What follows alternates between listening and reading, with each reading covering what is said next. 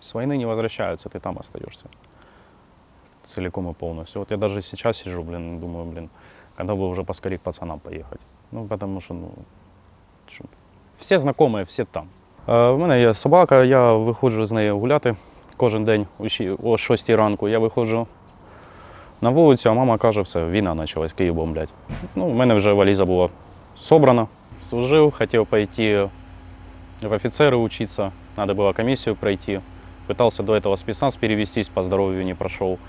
Э, Поехал проходить комиссию, чтобы поступить э, на офицера. Меня комиссовали, Е, дали статтю 36Б, н- непридатний у мирний час, обмежено придатний військовий. Я расстроился и три года не служил.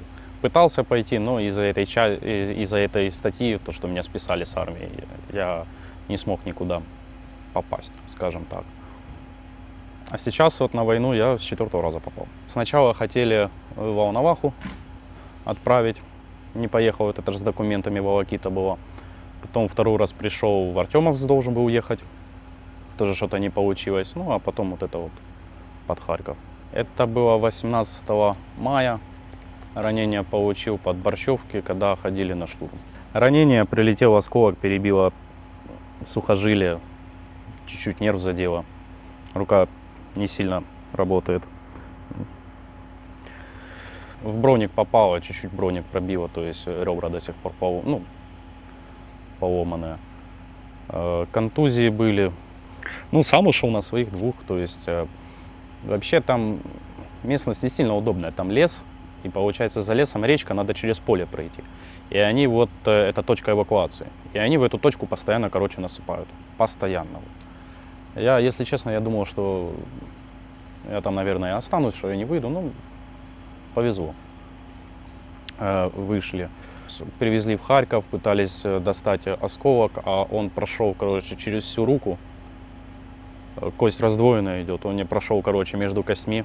И вот, вот здесь где-то был. Вот. Вырезать не захотели, потому что оборудования нету. Полежал, залечили, зашили. А потом просто, ну, поехал в Киев, на- должен был купить э, нейростимулятор или как там он называется, ну, имп- имплант, чтобы легче было. Врач сказал, он, он мне не нужен. Э, Сделали операцию, вырезали осколок, пошивали нервы. Ну, сказали полгода надо подождать. Типа, что все пройдет, но оно... Что взять особо ничего не могу, руку согнуть, а тоже не могу. Инвалидность не дали, дали минус 20% потери работоспособности. Никакие не выплаты, ничего. То есть единственное, что проблема, ты к этому привыкаешь, и ты без этого ну, жить не можешь уже. без этого адреналина, без этих ощущений. Там, во-первых, э, на передке там совсем другая жизнь. То есть э, ты не думаешь, не то, что за коммуналку заплатить, ничего. Если человек смеется, смех искренний. Но когда потом ты теряешь какого-то человека, вот, допустим, там, пацанчик, царство ему небесное, а, какая история получилась? Он сидел в моем окопе, он меня перемотал, я ушел, и через две минуты, короче, туда прилетело. Ну, там без вариантов было. Вот. Парень с Луганска сам был. Два года работал в Харькове, война началась, и сам пошел в военкомат. 24 года пацану было. При прямом контакте русские пытаются уходить, они оставляют ЛНРовцев, ДНРовцев, ну, как мясо просто, а сами уходят. Вот каждый раз берешь его в плен, спрашиваешь, что ты тут делаешь, что ты вообще пришел? Не знаю. Но все они в основном с э, Владивостока. Вот, вот туда, вот Урал, короче, вот такие вот. Эм, Последний раз мы взяли 20 человек в плен, из них 17 было ЛНР и трое русские, один офицер был. Воюют они, э, кстати, если регулярные войска, то есть, э, ну, они сразу бегут. Ну, срочники, воевать толком не умеют. Эм, Есть частная военная компания, то есть вагнеровцы, вот, э, Лига или Лидер есть еще, то именно разведка. Бывает такое, что они ходят по нашей форме, ЗСУшной форме со всеми распознавательными знаками.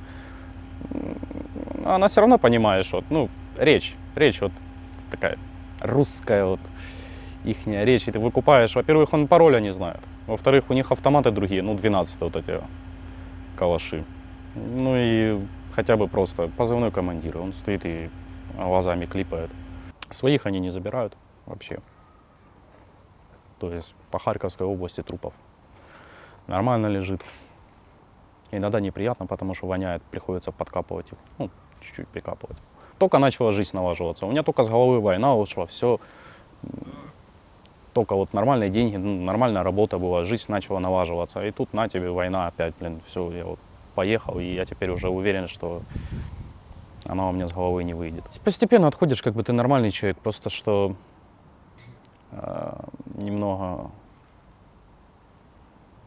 ну, некомфортно, привычки остаются. Ночью не сплю, могу вот так вот прийти на кухню, поставить посередине комнаты табуретку, блин, и сижу на табуретке, как на посту. В окно просто смотрю, ну, оно так не уходит с головы. Я парень молодой, ребенка еще хочется. Знаю, у меня брат здесь живет, у него двое детей. То есть не хочется, чтобы они пришли сюда. Вообще не хочется, чтобы...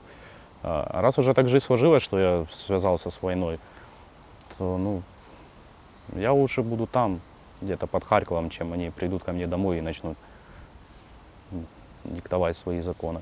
Ну, люди ходят, то есть, ну, хорошо, что они не думают про войну, что здесь ее нету. То есть это как бы, ну, я это приветствую. То есть зачем паниковать, ходить, вот это, сеять панику. То есть ну, жизнь идет, жизнь продолжается, жить же тоже надо.